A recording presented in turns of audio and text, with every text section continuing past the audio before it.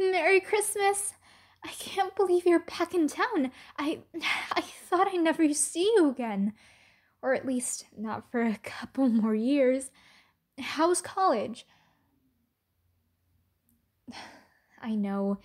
It's basically like expensive high school sometimes. But other than that, what's it like? Have you made new friends yet? Roommates do not count. You're pretty much obliged to get along with them. Meanwhile, friends are people you actually choose to hang out with, not just stand because you don't want to get stabbed in your sleep. Oh, well, yeah, I guess it's pretty awkward to make friends over Zoom. It's almost pointless to move out when you're pretty much not even attending class.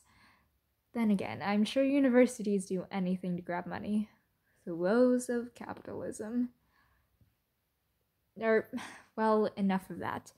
I'll give in to capitalism just for today. It's Christmas, and you are my guest. Food's already ready at the table. We've got mashed potatoes, pasta. Luckily, even this hot mess can follow a recipe. Let me just get something.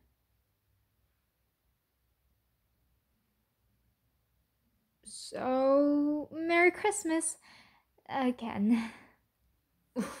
okay, I know oh, you didn't want me to get you something expensive, but this felt like the most appropriate gift now that we're all grown up. You can open it whenever, before or after dinner, but it has to be in front of me. I want to see your face. No, it's not a prank. I promise. But I'm kind of impatient, so doing it before dinner would be nice. Nope, it's not a bunch of rocks.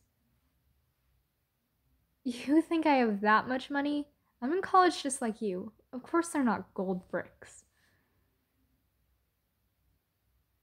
Ugh, stop wasting time and just open it. Ta-da!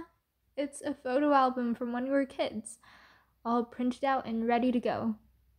I know we can just download old pictures online these days, but it doesn't feel half as personal.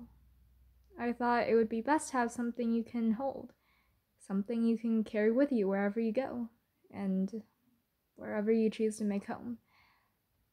Do you like it?